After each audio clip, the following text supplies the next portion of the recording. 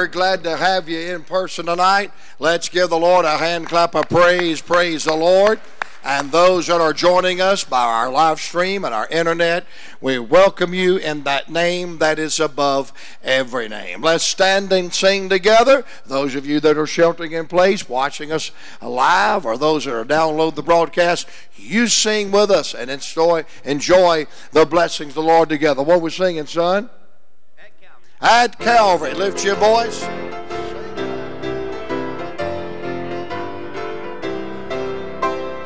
Years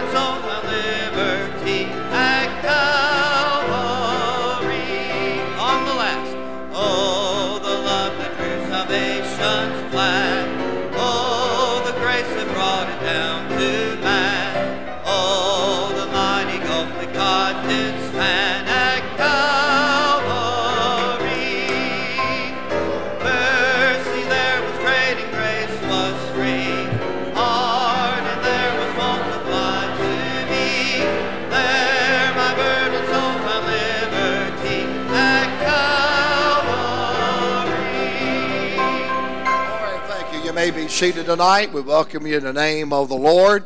Appreciate the good service we had this morning and people being baptized, people joining the church. We got more baptizing to do next week. We appreciate the goodness of the Lord and we thank you for it. Now, the Lord willing, Wednesday night we will continue with our uh, programs and we got off to a great start.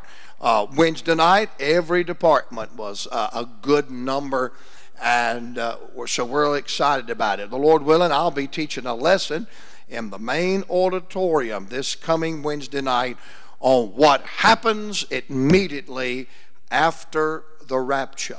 And you don't want to miss it, the rapture. And so we're, that was good, wasn't it?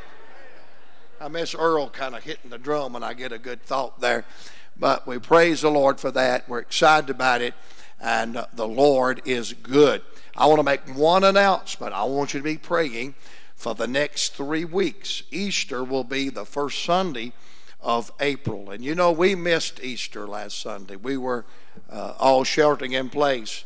Uh, January of last year, we had such momentum.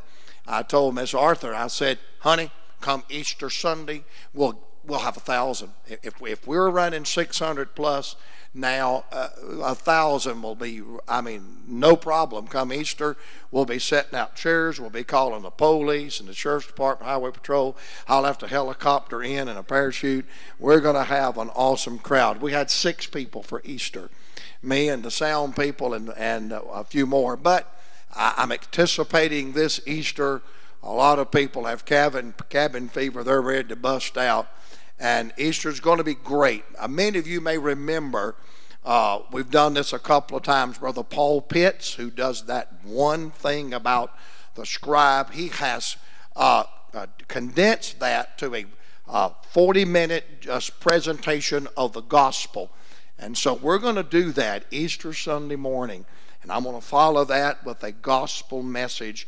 And I'm hoping by then we can take these ropes off uh, we, in fact, I saw a visitor this morning take it off and just sit down, and I was glad. And hopefully, we we can do that. If everybody will bathe and wash their mouth and wash their teeth and brush their hair real good, and maybe we can do that. But be much in prayer. I would love to see a bunch of people get saved this Easter Sunday by the grace of God and we are excited about that. Brother Shane, come and make our church announcements, then we'll get our music and then we'll get right into the service. Before he does, though, I went by today and saw Miss Dot Grambling. That's the first time I'd seen Miss Dot uh, since way before Christmas. And she said, Brother Joe, I miss church so bad. And I, I would love to see the Lord touch her. And uh, I've been her pastor 36 and a half years. and I appreciate her.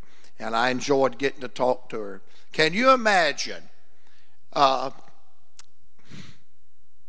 going three months of your life and not seeing anyone that you know? The folks, I, I don't know how to explain that, but that's not right no matter which way you look at it. And I was glad to see her today. And the Lord willing, we're going to get by and see Brother Tim. Did anybody see Brother Ensley's picture that they posted? He looks like Santa Claus. He's going to give Santa Claus a run for his money. And uh, we're asking God to heal these folks and bless them and continue to pray for them. But Miss Dot wanted me to tell the church thank them for praying for me, Brother Joe. And tell them I'm looking forward to seeing them soon. So do that. Brother Shane, you come, and then we'll have some music. All right. Once again, we just make a few announcements. It's so wonderful that the Navigators was in person today. I was so excited. Uh, Brother Joseph was coming out there excited and had a good number. So uh, we're so excited about that. But this Wednesday, make sure you remember that Navigators will be going. Uh, the Youth for Truth will be going. The youth, uh, the Gap group will also uh, be meeting there. So there are various places, and then of course we'll have a remainder of folks that are going to be coming here uh, during the main service. So you come out and be a part of that. Seven o'clock Wednesday night, and you make sure that you remember everything that's coming up with the change offering. You can continue to give with that. I believe is the treasure box still out there, Brother Joseph. I'm not sure if it is, but uh, you can still donate anyway. It will be. Glory to God. So. I love it. So you make sure that you do that and, and, and take part of that. And everything that's coming out, Sister Alicia, Brother James, going to be having a wedding shower next Sunday. So you come out, be a part of that, and you be much in prayer for the remainder of our service.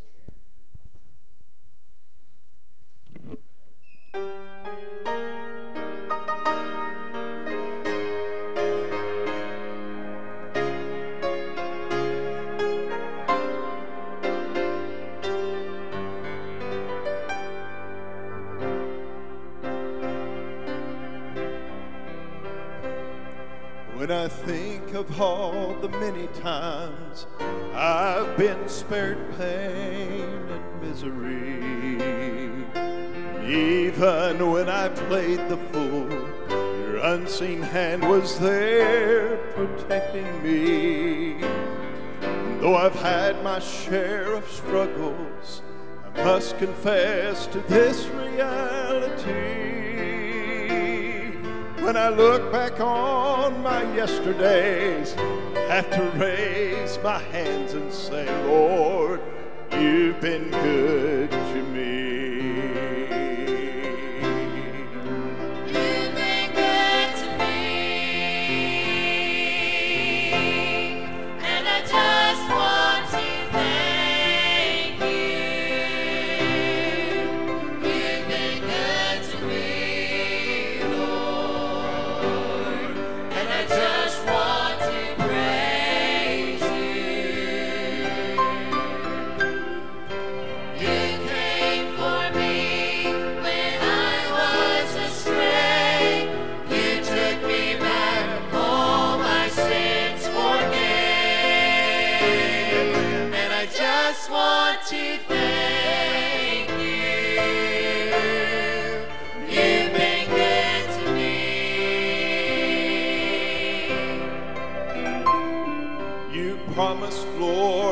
I confess all my sins, forgiveness would be mine. And faithful to the promise, cleanse the stain that sin had left behind.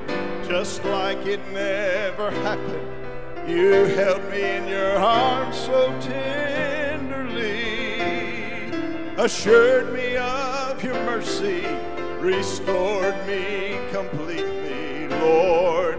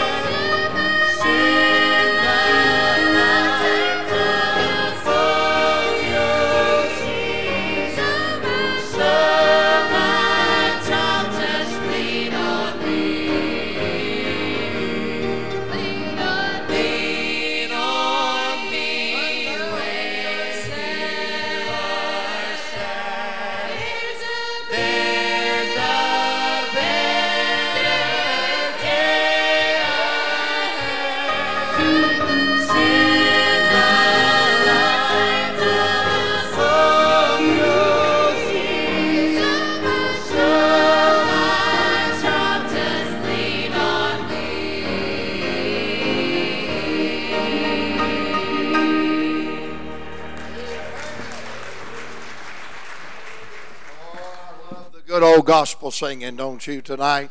That exalts the Lord and lifts up our Lord Jesus Christ. Brother Austin, come on up here, son, and lead us to the Lord in prayer tonight. I love this young man. His grandfather was the famous Dr. Walter Burrell. And if you've ever watched the movie Sheffey, uh, that Billy Kelly was the bootlegger in, his grandfather is the preacher in the camp meeting scene, preaching from uh, John chapter 3 about Moses lifting up the serpent in the wilderness. And uh, your grandfather, Austin, got to preach at our other location one Sunday night from Exodus 15 on the bitter waters. And he preached on, He washed my eyes with tears. And I'll tell you, God used your grandfather. He was a wonderful, wonderful preacher. And uh, he's now in glory. I talked to your grandmother today. She's, what, 80, 82, and she is just a wonderful Christian.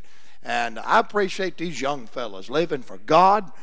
And I'm glad they're not ashamed of old preachers like me. And I love him. Austin, come lead us to Lord in prayer, and then we'll have a special, and we'll get right into the message. And since I preached so long this morning, I, I may not preach quite as long tonight, but I'm going to tell you something. I enjoyed every bit of it. And if I had my youth back, you folks would be in trouble. I'm going to tell you right now. Amen. Come on, son. Love you, buddy. Pray for us. Thank you. Heavenly Father, we thank you for the beautiful night that you have given us tonight to come and to worship you in the house with all of God's people. We just appreciate all the wonderful things you do for Harvest Baptist Tabernacle, for all the lives that you touch, not only here, but for those who may be listening on live stream of, of media, Facebook, or wherever across the globe. Just pray for Joe as he brings the message. May our hearts be touched. May our eyes be lifted up unto you. We just thank you for all the many blessings. And God, we love you. We thank you so much. And we ask all this as all the honor, all the power, and all the glory for it. In Christ's name we do pray. Amen. Thank you, son. We appreciate Chris and Kelly. What a great job that they're doing. And uh, it's hard to believe Chris married this good, isn't it?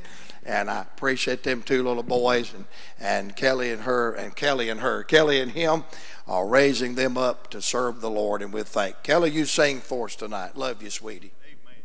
Well, glory. Hallelujah.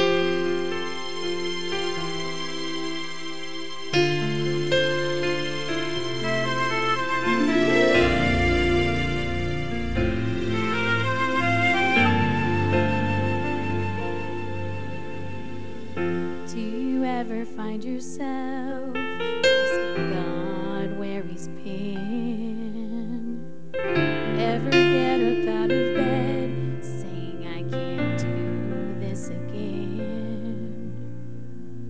Have you ever been afraid of what tomorrow will bring? And you're facing it alone, at least that's what you think. I can tell you after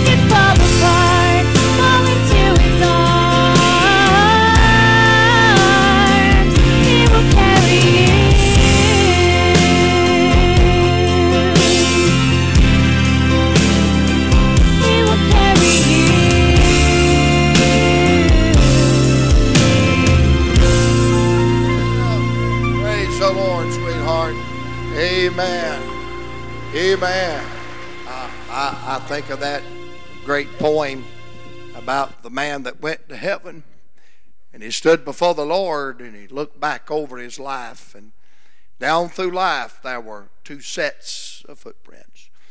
And he said, Lord, what's those two sets of footprints? He said, My child, one's yours and one's mine. I've walked with you all the days of your life. But the man noticed when he came to the dark, deep, dangerous path of life, only one said. He looked up and said, Lord, why did you leave me when I needed you the most?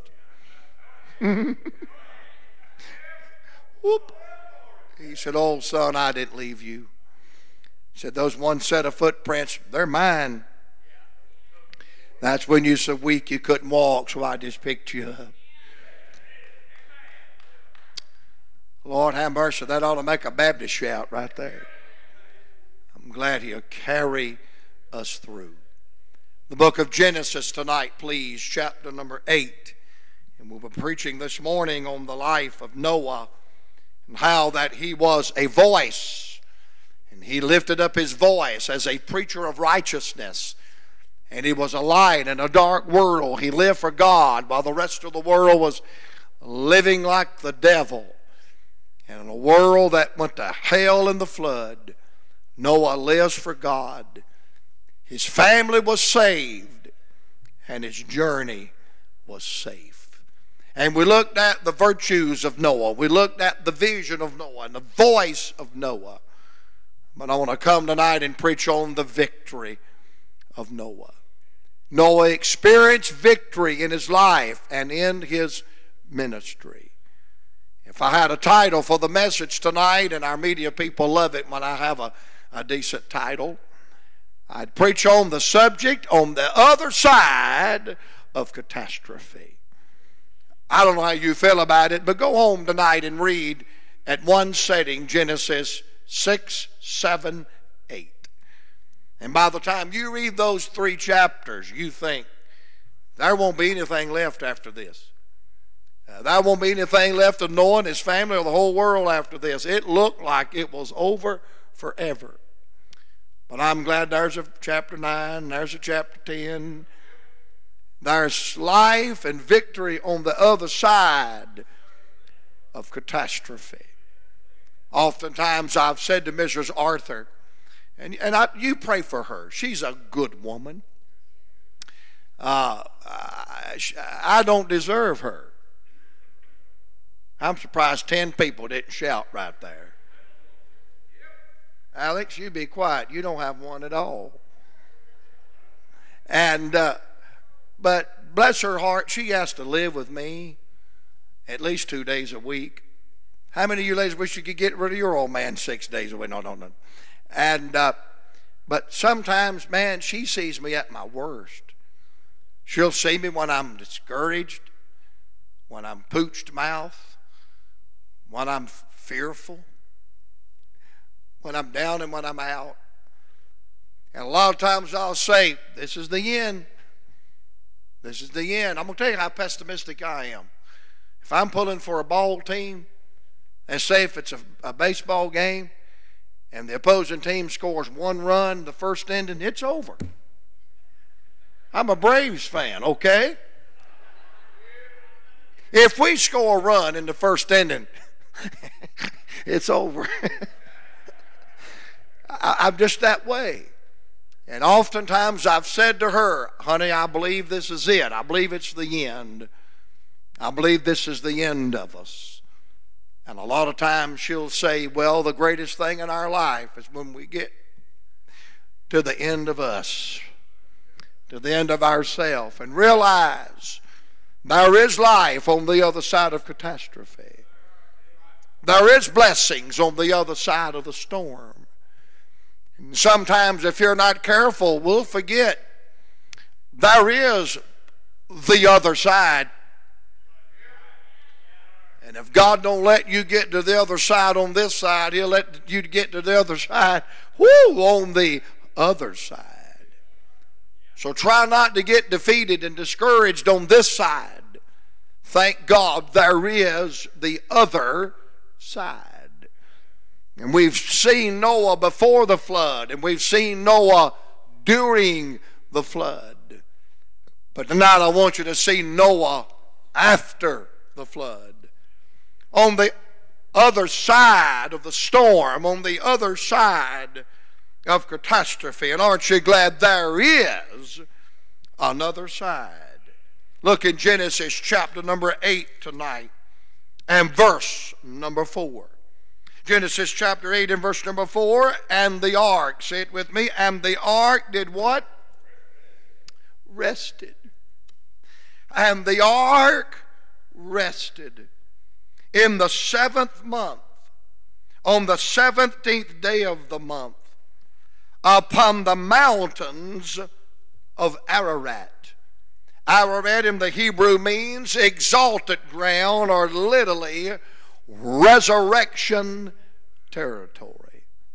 When the ark came to rest, it did not come to rest in a valley low. It did not come to rest on a stormy sea, but it came to rest, amen, on elevated or resurrection ground. Brother, when Noah and his family walked off of that ark, they were walking on higher ground. God elevated him to another level in his walk with God. And I'm glad on this side, on the other side, when we come through our storms and through our problems and through our affliction, buddy, God elevates us to another level. I'm not a prophet, nor the son of a prophet. Never came to be claimed to be a prophet. But I got a hankering, and you old timers know what that means. I got a hankering in my soul that the church of Jesus Christ that's on the earth today, oh boy, my critics get a hold of this, they'll call me all kind of names. I believe the church of Jesus Christ today is on the threshold. Oh, glory. Hallelujah.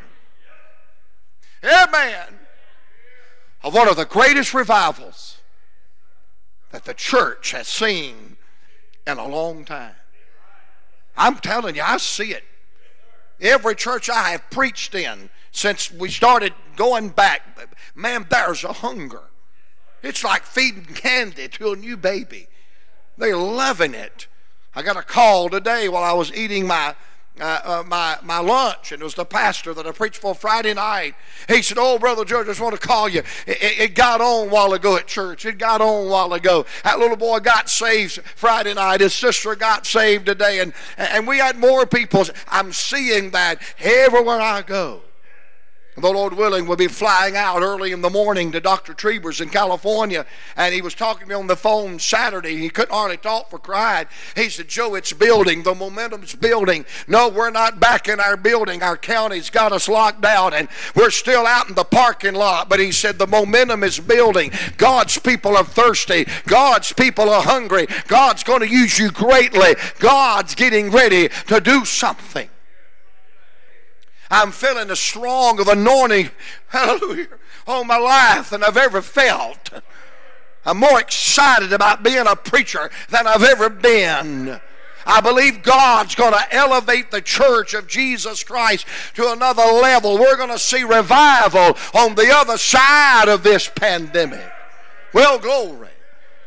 We're going to look back and say, like David, it was good for us because God, hallelujah, aren't you glad what the devil means for evil? God means it for good. And I'm glad God is still on the throne. He came to rest on elevated ground, Mount Ararat, resurrected territory. When they walked off of that ark, buddy, they were treading on higher ground. Let me deal with the numbers that are listed in this verse. Remember, I said this morning that Noah was the eighth person from Adam in the genealogy. Eight is the number of new beginning. And the ark came to rest. By the way, the Hebrew word Noah literally means rest. If you read all of Genesis 5 in one sitting and the first eight verses of Genesis 6, my God, somebody needed some rest. The world is reeling and rocking with the gross, diabolical sins of mankind.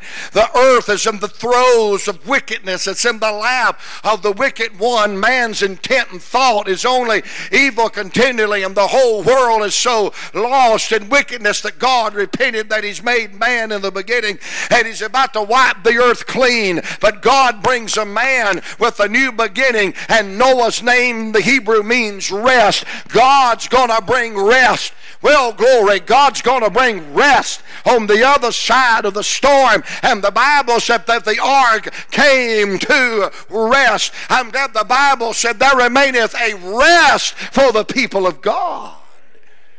Watch this. Eighth person, new beginning.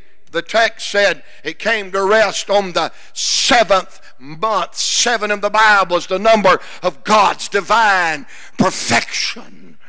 Oh, we may not live in a perfect world now, but on the other side of the storm, God's going to bring seven, His divine number of perfection. It came to rest on the 17th day. 17 in the Bible is the number of victory. Can I just stop and say, only a sovereign God can write a book like that?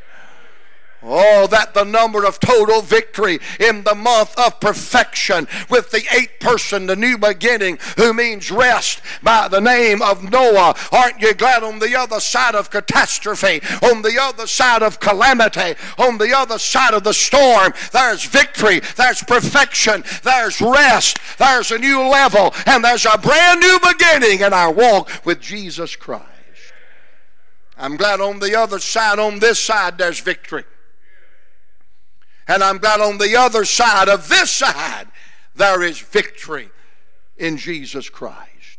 Let me give you three things that Noah and his family experienced on the other side of the storm. First of all, in chapter number 8, look in verse number 11. Genesis chapter 8 and verse number 11. Notice what the Bible said. And the dove came in to him in the evening and lo, in her mouth was an olive leaf plucked off. So, knew, so Noah knew that the waters were abated from off of the earth. So on the other side of the storm, there was the dove with the olive leaf plucked off. Now, you Bible students know that these animals, these birds, these animals in the Bible represent things. When you see the lion roaring, it is a dangerous beast. When you see the eagle flying, it is a picture of majestic power and majesty. But when you see this little dove in the Bible, it speaks of peace and it speaks of purity. that little dove with that olive branch in its mouth flying in and out of that ark, Lord have mercy, God was saying, There's peace on the other side of calamity. There's peace on the other side of catastrophe. There's peace on the other side of the storm. Well, I believe that's associated with the Lord Jesus Christ. Long lay the world in sin and error pining. Man's unbelief had reached a feverish point. Man's sin and man's depravity had reached its lowest depths. But all of a sudden, the child is born and a son is given, and his name is called Emmanuel. That means God with us. and he grew up in an obscure carpenter shop, and he grew up in an obscure village of Nazareth. But on his bar mitzvah, on his 30th birthday, Lord have mercy, he's down by the waters of the Jordan, and there's that wild-eyed preacher by the name of John the Baptist fulfilling righteousness, baptizing converts, and Jesus walked up and said, John, I want you to baptize me. And John said, I'm not even worthy to tie your shoes. But Jesus said, to fulfill righteousness, I want you to baptize me. And so John baptizes Jesus on his bar mitzvah on his 30th birthday. Hallelujah. And baptizes him in that Jordan River. And I don't know what it did for John. I don't know what it did for the bystanders. But heaven got tore up. God rolled back the heavens and spake with a voice that shook the foundations of the earth. This is my beloved Son in whom I'm well pleased. And Son flying out of the glory world, flying out of the glory world is this dove. And the Bible said, like a whoop under the Holy Ghost of God. And it just it just flutters over the shoulders of God's Son. And there Jesus stands there in that water, and that little dove is flapping its wings. Uh, you know that dove when Noah let it out.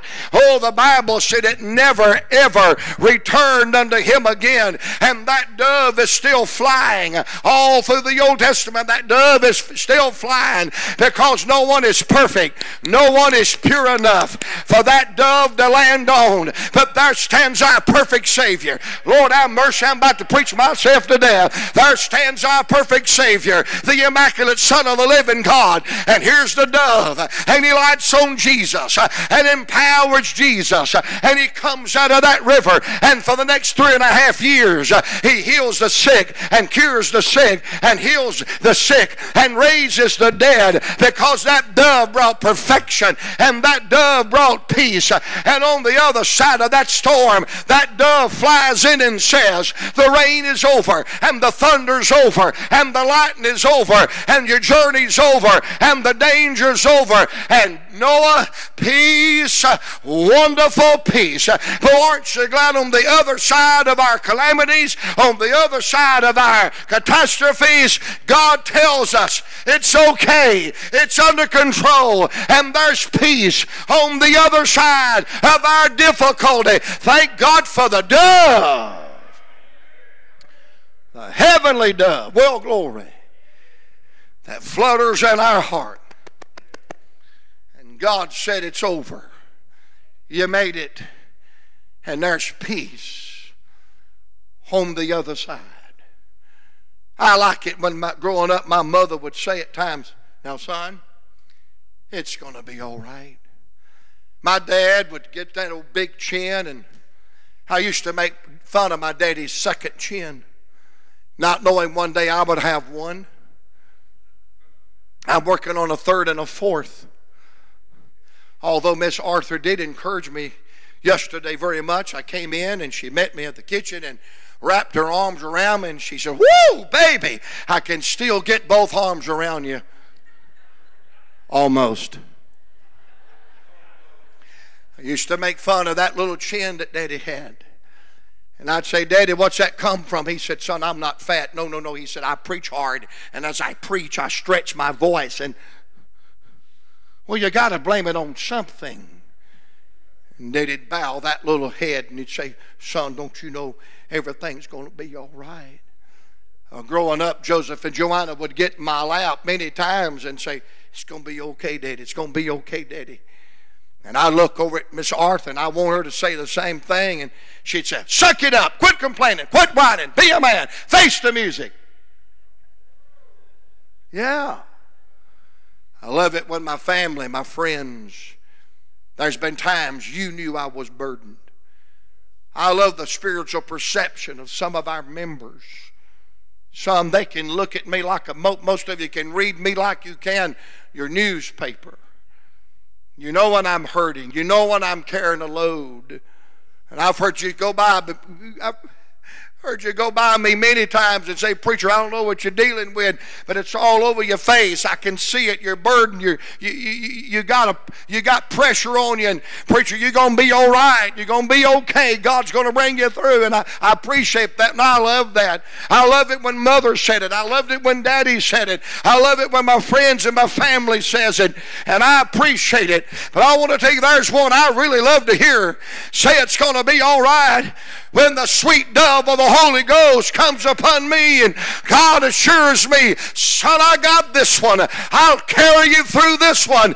I love to hear him say, everything's going to be all right because he's the only one that can make it all right. And I'm glad on the other side of catastrophe there is the dove. And that dove signifies peace.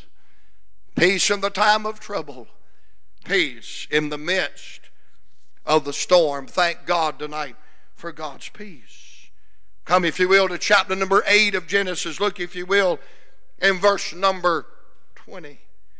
Not only you see the dove on the other side of catastrophe, but look in chapter 8, verse number 20. And Noah builded, say this little word here, an altar unto the Lord and took every clean beast and of every clean fowl and offered burnt offerings, say it with me, on the altar. You have an altar on the other side of catastrophe. You say, well, what's so significant about that? Well, let's apply the law or the principle tonight of first mention. When you read something for the very first time in the Bible, it's big because it sets the stage. There are certain things about it you'll see every time it's mentioned after that. For instance, the first time the word love is in the Bible is in Genesis 22 when Abraham and Isaac are walking up the mountain. The first time you read the word shield in the Bible is in Genesis 15 when God reminds Abraham against the wicked cities of Sodom and Gomorrah, I am thy shield and thy exceeding great reward. The first song you have in the Bible is in Exodus 15 after they're redeemed out of Egypt and Exodus chapter number 14 because as long as you're in bondage in Egypt, you have nothing to sing about. But when the blood makes a way, when there is no way, it'll put a song into your heart and to give you something to sing about. Well, of all the most precious words of Christianity, think of them. We talk about the church. We talk about the pulpit. Think about the building, the edifice, the local physical building. We talk about the pews. We talk about the pulpit. We talk about the baptistry. We talk about the foyer. But listen to me tonight, in this room tonight, oh God, outside of God's holy divine desk where the Word of God is proclaimed. The most precious place in this church outside of God's pulpit is before me tonight. And these are not steps to a platform, this is called an altar. By the way, this is not a stage. This is a platform. This is a pulpit. And we're having church. And this is the altar. Do you realize what a special, unique place this altar plays in the lives of our people? Some of you were saved at this altar. Joseph, some of you clasped hands with your sweetheart and pledged heart and hand at this altar. Amen. Son, I'm so glad glad you married a, a beautiful girl that's intelligent and you, you, have given me two of the most wonderful grandchildren. And man son if you don't do anything else in your life thank god for them kids. They're awesome. They play the piano they sing they're driving buses they're teaching sunday school class. That's awesome for children their age. Some of us I started to say I've said our last goodbyes, but we Christians, there's no such thing as last. Woo! Gosh, I just felt Jesus on that point. But Humphreys, a lot of us have wept and cried. Right here in this spot, boy. The casket was closed right here on this spot. Well, some of us have been here and had our bodies healed. That's a Baptist church, but we've had it. Some of us came here and got our burdens lifted. Some of us have come here and got wisdom and direction for our lives. Well, glory. We've cried here. We've shouted here. We've wept here. We've worshiped here. We've praised here. We've thanked God here. Think about what a significant place the altar plays in the life of a believer. Well, the first time you read the word altar in the Bible is in Genesis chapter number 8. There are no altars mentioned before Genesis 8. And the Hebrew word translated altar in your English Bible means to be elevated. It means to be lifted up. Oh, and notice well, glory. Notice what he did at this altar. He took the living fowl and the living creature and killed it and divided it and put the sacrifice on the altar. You see, that sacrifice that's going to appease and please a holy, righteous God. It's not laying on the ground that is cursed by the fall. It is it is placed on an altar. The sacrifice is exalted. It's lifted up from the cursed ground. It's lifted up to God. That altar is lifting up the sacrifice. It is lifting up the propitiation. It is lifting up the praise offering. It is lifted up the sacrifice of praise. Dear God Almighty. And on the other side of that storm, not only were they walking higher, not only they living higher, but their praise was lifted up and their sacrifice was lifted up and their thankfulness was lifted up. And more on the other side of problems, on the other side of catastrophe, on the other side of defeat, hey, you know what we ought to do, at least on the other side? Come on, help me. Get them hands up and lift him up tonight. Exalt his name and praise his name and give him glory and magnify him and lift him up and say, God, we've been through the flood. We've been through the storm. We've been through the catastrophe. But Lord, you didn't leave me and you didn't fail me. You are faithful to me. Hallelujah. Lift him up tonight and magnify his name. Well, glory. Hallelujah. Just do that a couple of times and shh. You say, I don't feel like doing that. You do that a couple of times, you'll feel like it. Son, they've been shut in that ark all them days. Son, that, Lord have mercy. I got a wild imagination. Can I use it? Can you imagine some of the women today, some of our wives, been stuck on that ark?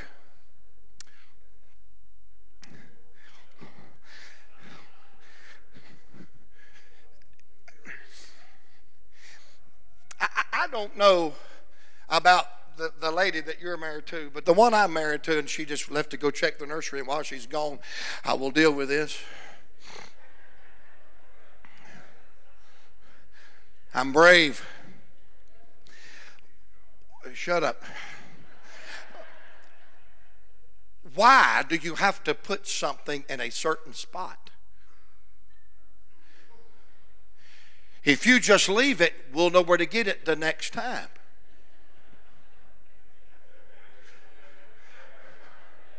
I feel revival in this church.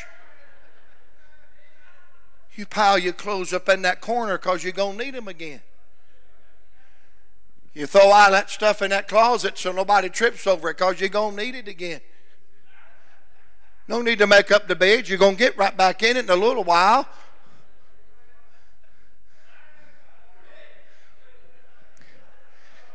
Do any one of you men live with what they, they've got a psychological term for that?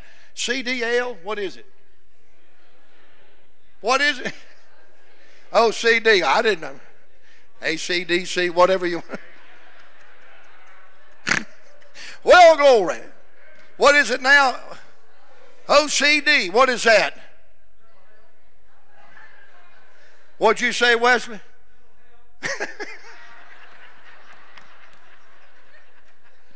Barry, you ready to do some more marriage counseling in room number three? We're going to send you one right here, man. Always got to put it. Can you imagine Mama Noah trying to keep house? Can you imagine her trying to be ACDC, whatever you said it was a while ago? OCDC, whatever you want to call it, ABCD, whatever. Can you imagine her trying to keep house? And boy, that, that boat's a rocking. That boat goes down in the depth, and that boat comes to the height. Man, it goes down in the depth again. And by the way, did you notice there are two things that are not on that boat? There is no anchor, because this world was not their home. And there was no steering wheel, because God's a guiding this ship. And son, that heart goes up and it goes down. It's tossed to and fro. I mean, all them animals and all them people. I'm sure it got hectic in there. I'm sure it got a little stuffy in there. I'm sure every once in a while it got kind of weary and kind of dreary. And I can hear old Mama Noah say, Noah, it's bad in here. It stinks in here. Everything's chaos in here. And Noah would say, Mama, it may be a little bit bad in here, but it's better in the inside, my God, honey, than it is on the outside. And boy, they've been in that ark. They've been in the depths. They've been in the deep. They've been tossed to and fro, wondering if they'll ever to survive. And all of a sudden, brother, that rock Hey, man, that anchor hits the rock on resurrection ground, and they walk out of that ark, and no wonder they build them an altar. No wonder they offer the sacrifice of praise. No wonder they lift it up to the God that was faithful and to the God that's brought them through. Let me tell you something, church, tonight. We're behind on our praise and our thanksgiving and our worship and our adoration and our lifting up holy hands. What a mighty God we serve. God's been good to us. Anybody here, God's been good to? Whew. God's been good to you. Raise your right hand. If God's been real good to you, raise your left hand. If God's been better to you than you've been to Him, lift both of them and say, Praise the Lord. Hallelujah. Because on the other side of the storm, on the. help yourself, son. Help yourself. Help yourself, boy. Help yourself. Amen. Hallelujah. On the other side of the storm, there's a dove that says peace, and there's an altar that says praise, praise, hallelujah, glory, and honor, and dominion, both now and forever. Amen. Woo! God is good. God is great. We should have drowned it in the flood. We should have went to hell with an antediluvian outfit, and we would have. But Noah found grace in the eyes of the Lord. And aren't you glad in your dark night on your way to hell, you found grace in the eyes of the sovereign God of the glory world? And on the other side, let's lift him up. Magnify. Oh, I'm about to get a case and I can't help it right there. Magnify that name that is above every name. Well, glory. On the other side of the storm, there's the dove that says peace. There's the altar that says praise. Hallelujah. I told Miss Arthur today, I said, baby, I'm not the man I used to be. She said, well, back it off a notch or two. And I said, uh, I'm a trying. But when God bleeds on the backside of my soul and I feel the wind of the Holy Ghost, if I've stopped and get my breath, it's worth the trip. Bless the Lord, oh my soul, and all that is within me. Bless his holy name. The dove, the altar. And last but not least, come to chapter number 9 and verse number 13. on the other side of catastrophe, on the other side of chaos, on the other side of the storm. The dove, the altar. But now you see something else mentioned for the first time in the Bible. Chapter 9, verse number 13. Look what he said. I love it. He said to Noah in the Noahic covenant, I do set my bow in the cloud, and it shall be for a token of a covenant between me and thee and the earth. Verse 16, and the bow shall be in the cloud. And the bow shall be in the cloud. Oh, glory. And I will look upon it that I may remember, that you may remember that I have made you a promise, I have made you a covenant. Can I remind you that rainbow did not appear before that storm? That rainbow did not appear even during that storm. But praise God, children, on the other side of the storm, when the sun came out again and the sun shined again, that rainbow stretched from sky to sky. It began to shine, and God said, There's my covenant, there's my promise. I've made a promise to you. I didn't fail you before, and I'll never fail you the longest days of your life. For that dove says peace, and that altar says praise, but that rainbow says promise. Did you know you can't have a rainbow without a massive disturbance? You can't have a rainbow without thunder and lightning. You can't have a rainbow without rainy skies. You know what literally happens on the other side of a storm?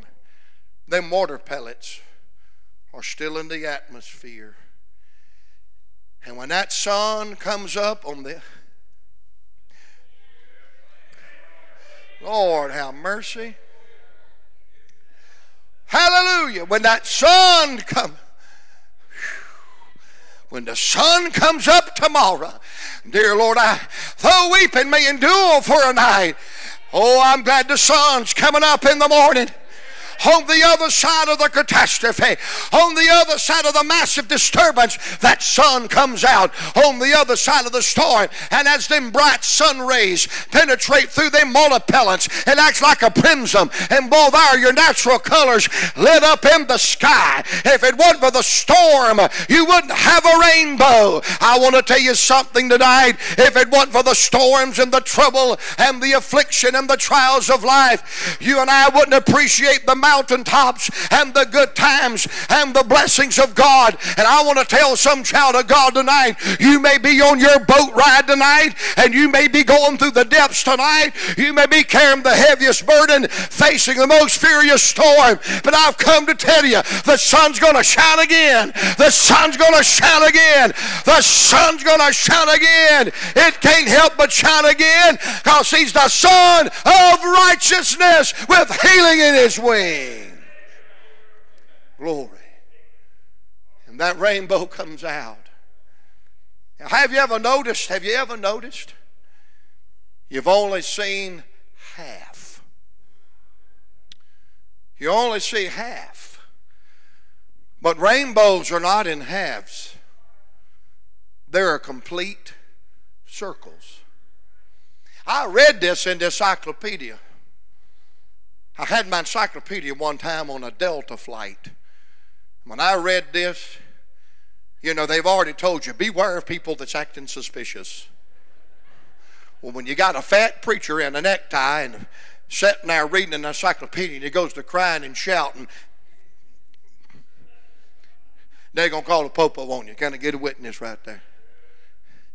And I read this that said the only way to see a complete rainbow is you've got to get off of the earth.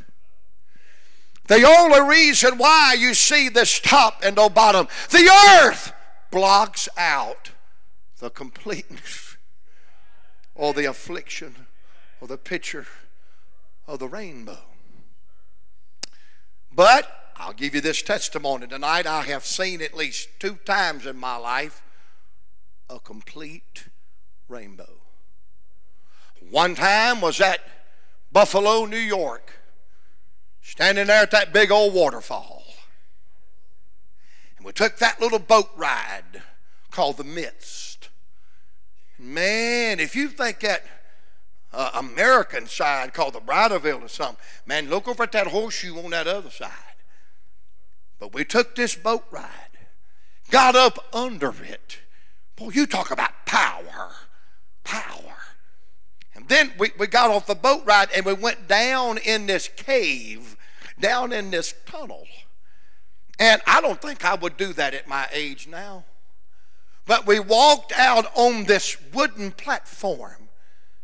And the next thing I know, Joseph and Joanna and Mrs. Arthur and myself are standing over the fall. And we looked down. As long as we were in the parking lot looking up, we just saw halves. Well, glory, but when we got to the top and looked back, we were off the ground, we could see the complete one. One day I was on my way to a meeting and up going down 85 at Hartsfield National Airport. There'd been a massive storm, and I told Judah we better go, man. The plane's going to be all behind, everything's going to be messed up. And I'm telling you, stretched over Atlanta Airport was the prettiest rainbow you've ever seen. And, buddy, by the time my flight got lifted up, and so as we got, man, I looked back on it, and it was a complete circle. I've seen it twice, but I had to leave the earth because as long as you're bound to this whole earth, you only see the half. Now listen to that. You only see the half. One day there was a queen called the Queen of Sheba, and she had heard about the wisdom of Solomon and the fame of Solomon and the glory of Solomon. And she made that 950 mile journey, and she stood there in his palace, and she went with him to a Sunday morning worship service. And this is what she said to King Solomon I've heard about you. I've heard about you. But now that my eyes have seen, I've got to admit, the half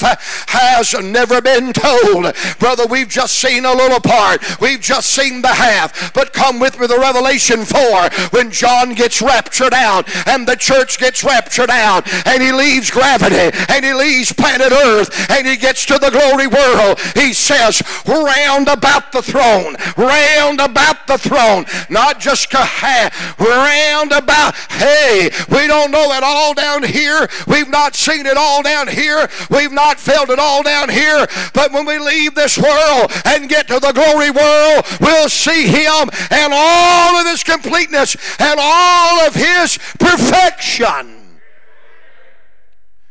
Well, glory. I've been told my whole life, and you have too, at the end of the rainbow, there's two things either a pot of gold or a box of Lucky Charms. Magically delicious. But can I tell you, there's no such thing as the end.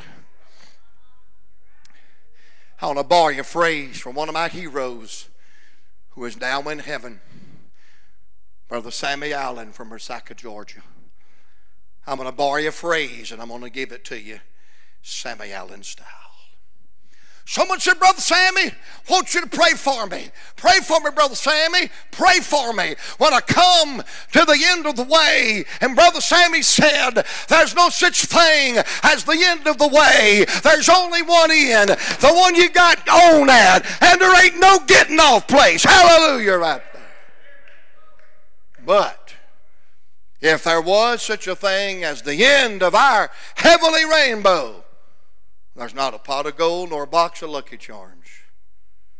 There's a whole city full of it.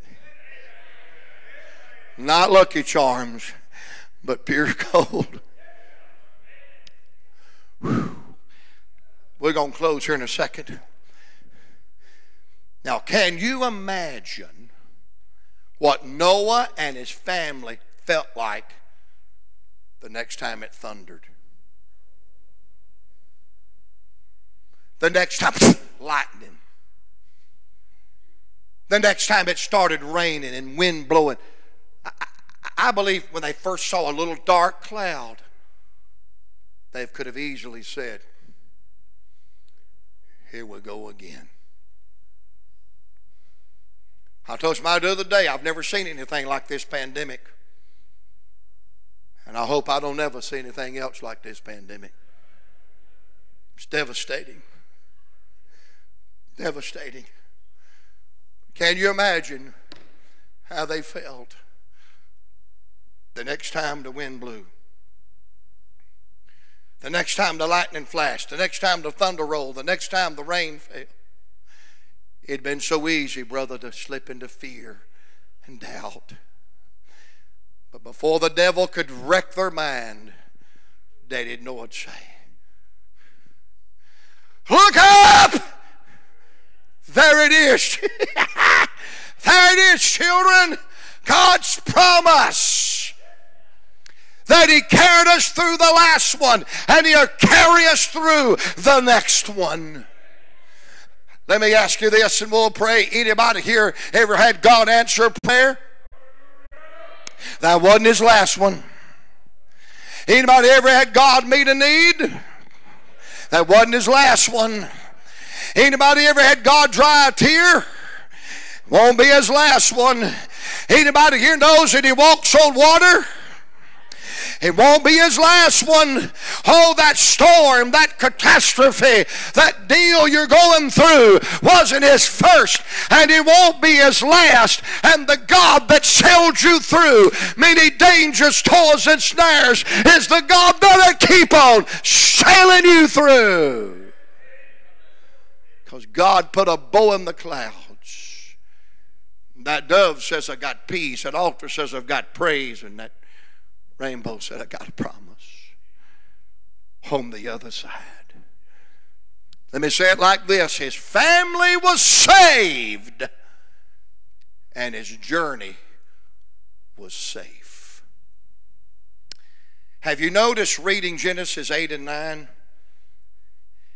Everything that went in the boat came out of the boat. And have you noticed they went in through the side, but they came out the top. Woo! One day my ark of safety opened up his side and I got in. But thank God, I'm going higher. and higher and higher someday. Aren't you glad on the other side of catastrophe? Well, glory. Do you feel him tonight?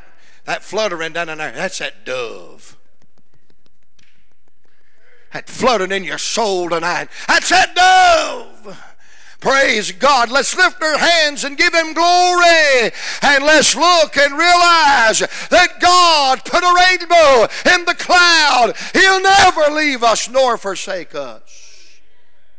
He is a God that will and has kept His promise. Well, I think I'll sing a little bit and then we'll go. Some through the water, some through the flood, some through the fire, but all through the blood. Some through great sorrow,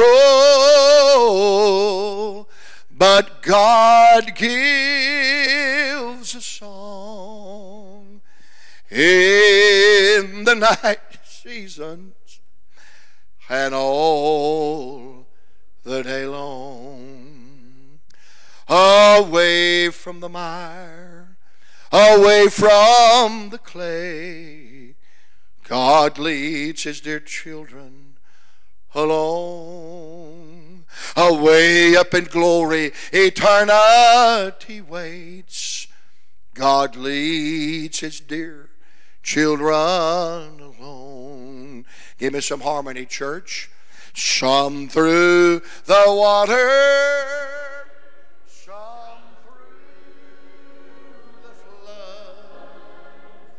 some through the fire, but all through the blood. Some through great sorrow, but God gives us all in the night seasons and all the day long. After all of life is over and our burdens have been lifted, and we stand upon the mountain top so tall, looking over in the city that the Savior is preparing, gives me faith that I can make it after all. Till the storm passes over, till the thunder sounds no more, till the clouds rule forever from the sky. Hold me fast let me stand in the hollow of thy hand. Keep me safe till the storm passes by. Lord, we love you tonight. Lord, you have made us sit together in heavenly places. Lord, we're unworthy the least of thy tender mercies. But we crown you tonight with glory and honor and dominion and praise. Thank you, Lord, for passing by the avenues of our soul. Thank you, Lord, for encouraging this body of believers tonight to keep walking, keep serving, keep lifting our voice. One day we'll hear your voice and we'll go home and we'll leave it all behind. And Lord, on the other side of this side, we'll be reminded you was always by our side. And we give you glory tonight for who you are. Help us not to be weary in well doing, for we shall reap if we faint not. We give you glory in Jesus' name.